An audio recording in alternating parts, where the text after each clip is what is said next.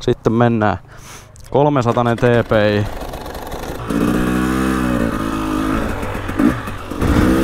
Viimeinen pyörä, mikä tänään on testissä, tai no ikinä ei kannata sanoa, että vikat ajot, mutta nyt testataan tällaista. Eli tota, 300 kuutioinen kaksitahti TPI, siis tää on niinku jokaisen kaksitahti, jokaisen kaksitahti ihmisen unelma.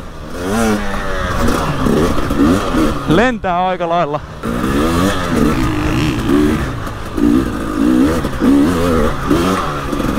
Kyllä Sopu sijaa antaa samalle radalle, eli täällä on ihan tosi nopeita kuskeja. Ja sit on minä. Mutta eihän sinne tällaisenkin kun ajaa, niin täytyy kyllä pitää järki päässä koko ajan, että ei käy mitään haaveria. Väittäisin kyllä, että toi ruisku antaa anteeksi vähän niinku kuskin, kuskin hitautta. Tällaisen mun tasoiselle kuskille ei ole helppo pyörä ajaa. Ei tosiaankaan. Eli moottorin luonteen puolesta 150 tai kaksi puolikas, niin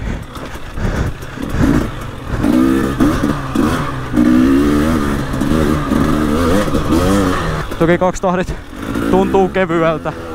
Ja sitähän ne on, mutta ei noin uudet, uudet nelarit ei kyllä kaukana siitä oo.